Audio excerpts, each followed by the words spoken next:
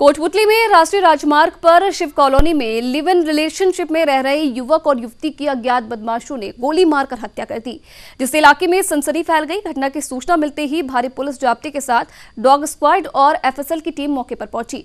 वही मौके का जायजा लेकर आवश्यक साक्ष्य भी जुटाए गए, साथ ही जयपुर ग्रामीण एसपी भी मौके पर पहुंचकर उन्होंने घटना की जानकारी ली। इस दौरान पुलिस ने मकान को सील कर दिया है, साथ ही पुलिस के मुताबिक पावटा निवासी मृतक महिला सुमन चौधरी का हरियाणा के नांगल चौधरी में ससुराल है। उसका पति के साथ तलाक का केस चल रहा है और वो लंबे समय से माता दीन नामक व्यक्ति के साथ कोटपुतली में किराए का मकान लेकर लिव इन रिलेशनशिप में रह रही थी। ये और माता दीन एक व्यक्ति और है। उन दोनों की गोली लगने से मृत्यु हुई है। जो सुमन चौधरी का लड़का है पंकज, वो अभी यहाँ से फरार है। उसी ने सूचना अपनी मौसी को दी थी पुलिस अनुसंधान कर रही है। एफएसएल टीम को बुला लिया गया है। एमओबी आ रही है। डॉग स्क्वाड भी आ रहा है।